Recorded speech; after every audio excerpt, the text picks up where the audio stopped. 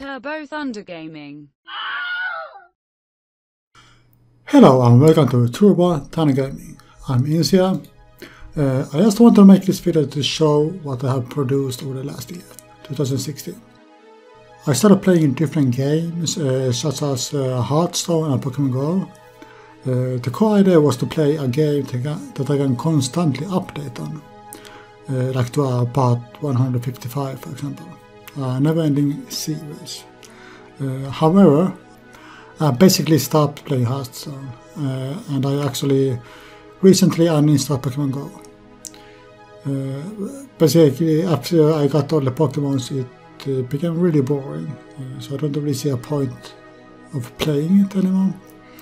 And Hearthstone, when I understood the whole core game design, like the ever changing gameplay, um, it actually become boring because you need a specific meta deck for every single month. So yes, so I'm not competing in that.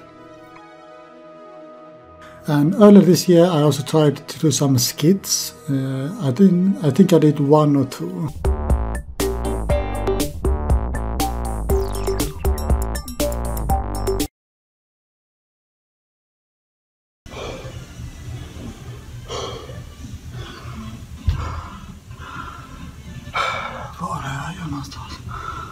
And it didn't really skyrocket in views, so I dropped the idea.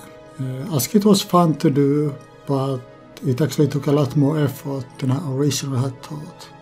I also, like every single year, I played a bunch of short games. Uh, this year I played 60 seconds. Uh, this time I put a little twist on the gameplay. I made it the game uh, in-game language uh, Portuguese, I believe. I know a little Spanish, so I understood words here and there. So it at least made the game more fun for me. I think I only made one uh, one part of that game. Didn't really like it after a while. I also played uh, a lot of other mini games. Uh, you can find them all on the channel. And one game I did play from uh, start to finish was Bloodlust Shadowhunter. It was a really fun RPG vampire game. I played from start to finish. Uh, I also helped the developer with a lot of feedback during the early access. Uh, and he actually put me into the credits. Yay. So, there you have it. There you have my name too. Testers. Jesse Nissinen. And two other games I finished this year was uh, Bastion and Inside. I was hoping Inside would get a lot more views, but unfortunately it didn't. I guess everyone watched the Markiplier instead, like I did. Uh, uh, Bastion got a decent amount of views, uh, so I really hope you guys liked it. Almost like he's showboating Holy sh! Like for reals.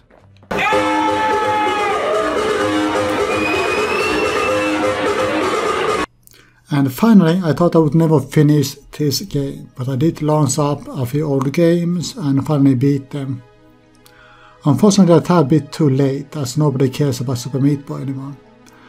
Uh, so anyways, I finally beat Super Meat Boy and can now uninstall it. Holy motherfucker.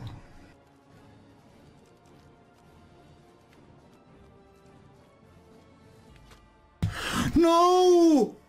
Ah! Another fine game I beat was Battlefield 4, the campaign. Uh, it had a few great moments and some fun cutscenes. Be sure to check that one out if you missed it.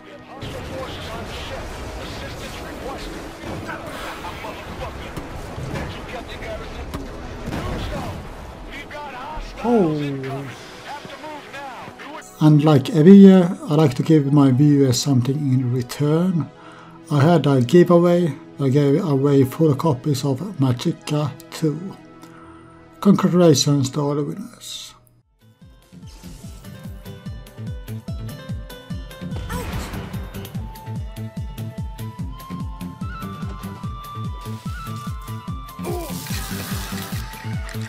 Racing. Surrender! Surrender! Backer! Surrender! Surrender! I also had my birthday this year again, uh, and this time I turned 30. Wow. I'm an old man now. Oh, and here's a clip of me trying out a hoverboard during my birthday.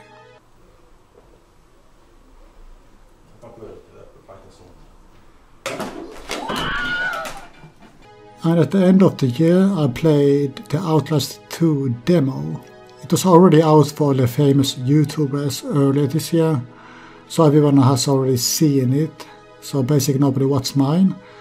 Either way, it was great fun playing it, and I'm looking forward to the full game, uh, which is said to come out 2017. So that's something I'm still looking forward to. I also accidentally found this short fun Google Draw game. Okay, I want to try something. Binoculars. I see spoon.